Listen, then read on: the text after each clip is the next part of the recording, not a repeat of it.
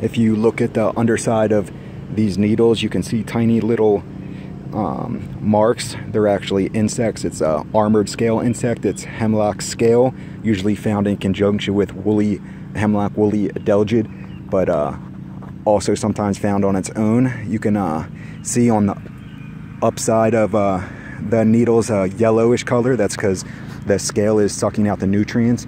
Um, scale latches on, doesn't move, and continues to suck out the uh, the liquid nutrients, um, causing a, a, water or a nutrient deficient look to the, the tree. Um, controlling armored scale is very difficult, usually controlled with a systemic insecticide such as Safari, dinotefuran, or uh, sometimes you can get lucky with uh, Merit imidacloprid, but usually that's just for soft scales. Controlling with a contact insecticide such as bifenthrin, permethrin, cyfluthrin, any of the pyrethrins uh, is really just restricted to trying to catch the the um, the young scale, the the crawlers, which are actually the the mobile um, life uh, life part of the the scale life cycle.